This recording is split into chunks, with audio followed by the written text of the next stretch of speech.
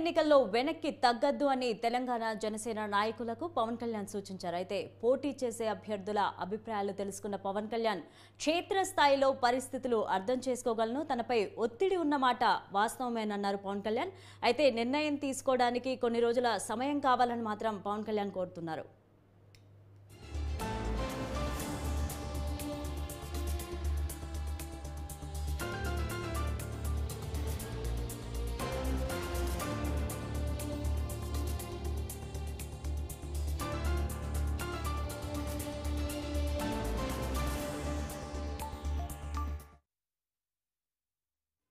Telangana Janasena party కుటుంబానికి నాయకులకి మహిళా నాయకులకి ప్రతి ఒక్కరికి నా హృదయపూర్వక నమస్కారాలు.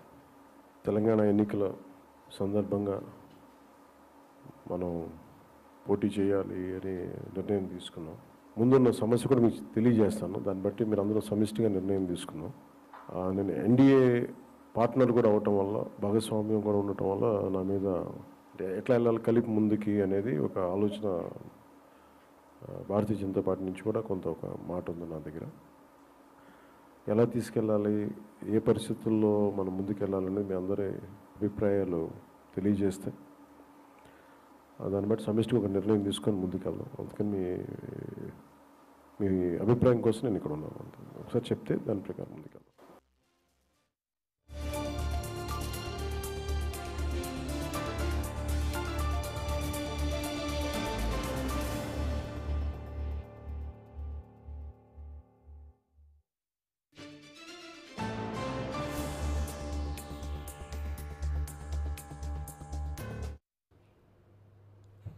తెలంగాణ ఎన్నికల్లో ఏ మాత్రం వెనక్కి తగ్గద్దు అని పవన్ కళ్యాణ్ జనసేన అభ్యర్థులకు తెలియజేశారు. ఇక దీనిపై మరింత సమాచారం మా ప్రతినిధి బ్రహ్మాజీ అందిస్తారు. బ్రహ్మాజీ చెప్పండి.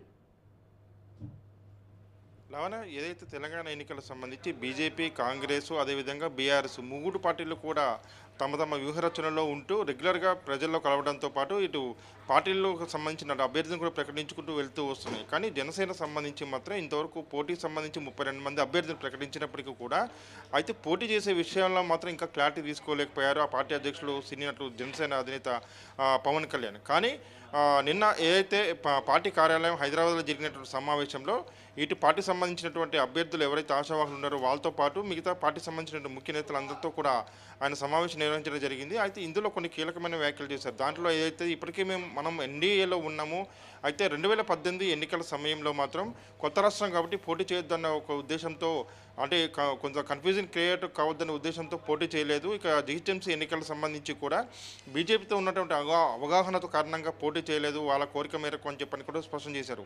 అయితే ఇప్పటికే ముప్పై రెండు మంది అభ్యర్థులు ముప్పై రెండు స్థానాల్లో పోటీ చేస్తారని ఇప్పటికే జనసేన ప్రకటించింది. కానీ ఈ అభ్యర్థులు ఇంకా ఖరారు చేయలేకపోయారు. కానీ ఇదే సందర్భంగా నిన్న పార్టీ నేతలతో జరిగినటువంటి సమావేశంలో మాట్లాడుతూ అయితే ఎన్డీఏలో ప్రస్తుతం ఉన్న తరుణంలో పోటీ చేయాలా వద్దా అనేది ఇంకా తీసుకో నిర్ణయం తీసుకోలేదు. నాపై ఒత్తిడి అయితే ఉన్నమాట వాస్తవం. కానీ మీ నిర్ణయం ఏ విధంగా ఉంటుందో ఆ నిర్ణయం ప్రకారం నేను కూడా ఒక నిర్ణయం తీసుకుంటాను. ఏ ఏ విధంగా వెళ్ళబోతున్నాం ఒకటి రెండు రోజుల్లో నిర్ణయం తీసుకున్నాక నాకు చెప్పాల్సిందిగా కూడా పవన్ కళ్యాణ్ చెప్పారు. దీన్ని బట్టి చూస్తే జనసేన పోటీ చేయాలా వద్దా అనే విషయంలో మాత్రం కొంత వెనక ముందడుగు వల్ల అన్న అన్నటువంటి పరిస్థితి కనిపిస్తుంది లావణ్య.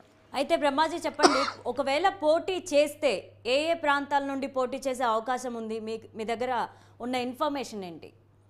అంటే మొత్తం ముప్పై రెండు స్థానాలకు సంబంధించి. అంటే ఉమ్మడి వరంగల్ జిల్లాతో పాటు ఉమ్మడి ఖమ్మం జిల్లా కరీంనగర్ జిల్లాలో కొన్ని ఒకటి స్థాన ఒక్కో జిల్లాలో రెండు మూడు స్థానాలు చొప్పున మొత్తం పోటీ చేయబోతుండ్రు. ఆ విధంగా చూసుకుంటే ఉమ్మడి ఖమ్మం జిల్లాలో కొత్తగూడెం వైరా ఇల్లందు అలాగే వరంగల్లో చూసుకుంటే వరంగల్తో పాటు కొన్ని ప్రాంతాల్లో కూడా మొత్తం ముప్పై రెండు స్థానాల్లో పోటీ చేయబోతున్నారు. అయితే ముప్పై రెండు స్థానాలకు సంబంధించి కూడా ఇప్పటివరకు అభ్యర్థులను ఇంకా ఖరారు చేసుకోలేకపోయారు ఇప్పుడు ఇప్పుడు నిన్న ఏదైతే జరిగిన సమావేశంలో తనపై ఒత్తిడి ఉన్న మాట వాస్తవం. ఎందుకంటే బీజేపీతో ఉన్నటువంటి స్నేహబంధం కావచ్చు ఎన్డీలో ఇప్పటికీ కొనసాగుతూ ఉన్నాం. అని చెప్పడం జరిగింది. అయితే గతంలో మాత్రం చంద్రబాబు నాయుడు అరెస్ట్ సంబంధించిన విషయంలో ప్రస్తావిస్తూ ఆ, ఏదైతే బీజేపీతో ఉన్నామా లేదా అనేది మీకు అనవసరం ఉంటామా ఉండమా అనేది కూడా కొన్ని వ్యాఖ్యలు చేశారు. దాన్ని ఏ విధంగా అర్థం చేసుకోవడం అనేది కూడా కొంత పార్టీలో చర్చ జరుగుతుంది.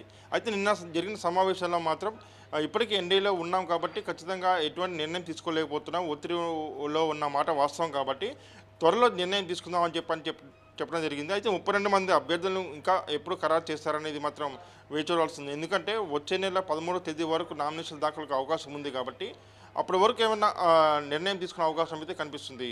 Lavanya. Right thank you Brahmaji